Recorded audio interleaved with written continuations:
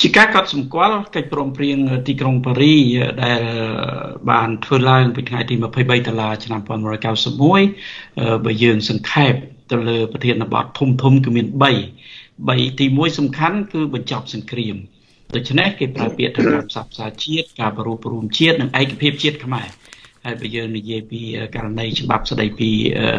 កំណត់សញ្ជាតិតែមួយសម្រាប់នាយករដ្ឋមន្ត្រីឬមួយក៏ប្រធានរដ្ឋសភាប្រធានព្រឹទ្ធសភានិងប្រធានក្រុមប្រឹក្សាធម្មនុញ្ញនោះវាហាក់ដូចជាមានលក្ខណៈផ្ទុយខ្លះ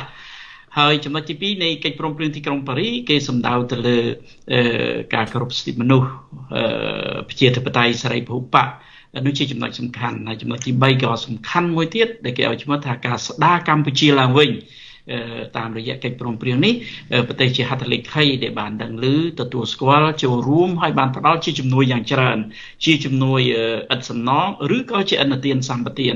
ដូច្នេះកិច្ចការកិច្ចព្រមព្រៀងទីក្រុងប៉ារីមានសារៈប្រយោជន៍សំខាន់បំផុតហើយរឿងដែលសំខាន់មែនទែននោះ